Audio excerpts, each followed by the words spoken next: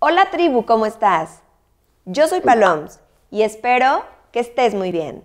Vienes regresando de las vacaciones y sientes que tus hijos no tienen mucha organización en las rutinas alimentarias, no te culpes.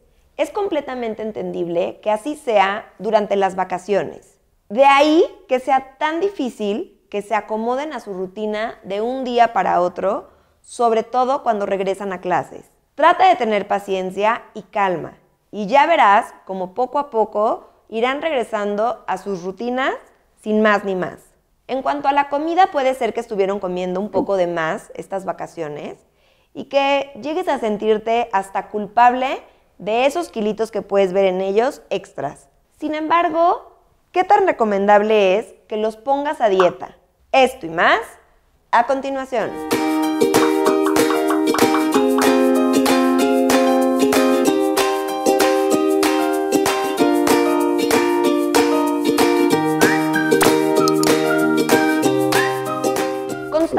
Te estoy repitiendo que el desarrollo de los niños no es lineal.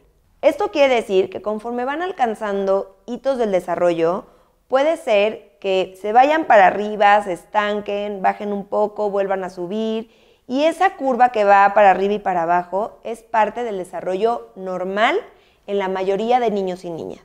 En las vacaciones, al pasar tanto tiempo dentro de casa, inclusive yéndose a algún lugar de vacaciones, pero sin tener una rutina diaria como lo harían cuando están en clases, se entiende que puedan estar mucho más cerca de la comida, inclusive que suban de peso. Sobre todo si tomamos en cuenta que las vacaciones que acaban de pasar son las de Navidad, porque ahí nos reunimos como familia a comer, a celebrar y a seguir comiendo. Y encima de todo, muchos familiares terminan regalándole dulces a nuestros hijos. ¿Te imaginas a nivel de dientes y a nivel de peso, lo que esto termina repercutiendo. Pero de ahí a ponerlos a dieta hay un abismo muy grande. ¿Tú sabes qué es lo que pasa con las dietas en general?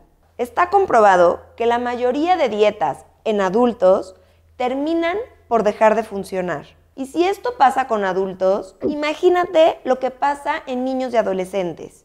Todavía se vuelve mucho más difícil de seguirlo tomando en cuenta que ellos todavía están en diferentes etapas de crecimiento. En estas investigaciones ponen mucho énfasis de cómo lo prohibido muchas veces termina siendo lo deseado. Si tú les prohíbes a tus hijos comer ciertos alimentos, su cerebro lo que va a hacer es inmediatamente ir a buscar esos alimentos, convirtiéndose en un círculo vicioso en donde van a ir a buscar más de lo que se les está prohibiendo. Entonces, ¿qué puedes hacer si sientes que tu hijo o tu hija necesita bajar un poco de peso? Punto número uno, no decirle que está a dieta. No tiene por qué saber que la comida que le estás dando tiene que ver con una dieta. A lo mejor puede comer un poco más sano, su salmoncito o una carne, ensalada, y no necesariamente tienes que decirle estás comiendo eso porque estás a dieta. Punto número dos, por favor, tribu, no le digan a sus hijos que están gordos o gordas. Cuando un papá o una mamá decimos a nuestros hijos que están gordos, inmediatamente esa parte de autoconcepto los niños la toman y se convierte en su propia autoestima. Es muy importante. Tampoco pido que les digan que son actrices, que tienen cuerpazos, que no, porque son niños pero sino tratar de estarles diciendo qué gorda te ves, qué gordo te ves, estás pasado de peso, porque eso, lejos de ayudarlos, sube más su ansiedad. Punto número tres, comprar comida saludable en tu casa. Si tú en tu casa lo que tienes para colaciones o snacks o lunch es comida saludable, ellos lo que van a terminar comiendo es eso. Pero si tú haces una diferencia entre el que tiene que bajar de peso y los otros que no, para tu hijo que tiene que bajar de peso se vuelve mucha rivalidad y se vuelve muy, muy difícil tener que seguirlo. Y de ahí el que tus hijos te puedan ver a ti también comer ese tipo de comida. No hay mejor aprendizaje que el propio ejemplo de lo que hacemos como papás. El cuarto punto es que tengan una rutina de ejercicio.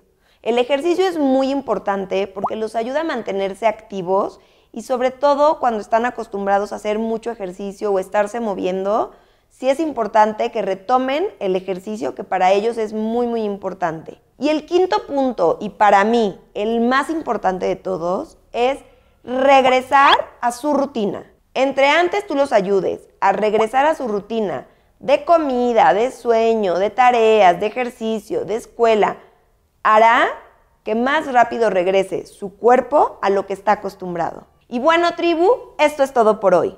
No olvides suscribirte a mi canal para tener la mejor información sobre el desarrollo emocional de tus hijos y la maternidad.